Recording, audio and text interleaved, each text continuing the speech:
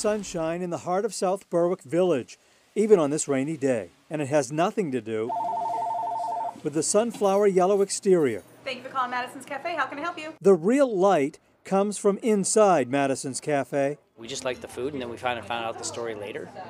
And the story's awesome.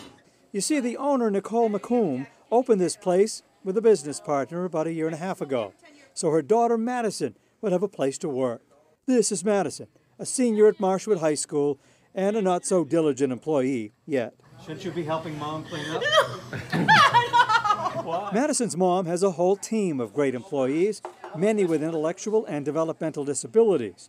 Employees like Daniel Patstone, who, wait for it, actually likes his boss. She is a nice person. Like she does really care about all of us. They're amazing and they're very, very hard workers. And they're very proud of themselves. McComb has seen her employees blossom at work and in life. Oh, I was able to make new friends here, and I meet- see new people all the time. A place where all people matter, that's not only the mission, but the motto here at Madison's. But among all the cheerfulness these days, there's a side order of sadness. You see, not enough business, so they may be forced to close their doors by the end of November. This means the world to me. I've put my heart and soul and everything I have into this place, and I can't, I can't fail my daughter. I can't fa- fail my staff.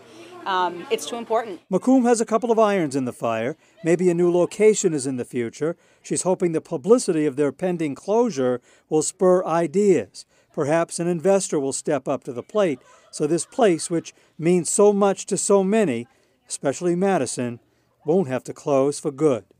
In South Berwick, Jim Keithley, WMTW News 8.